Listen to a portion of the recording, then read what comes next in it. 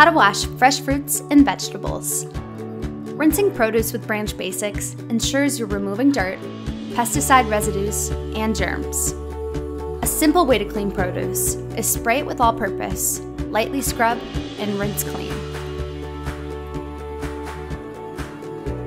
Another option is to soak the produce in a sink with one teaspoon of concentrate.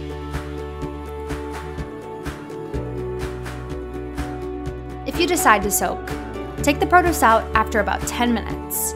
Rinse and let it air dry on a dish towel. One last tip.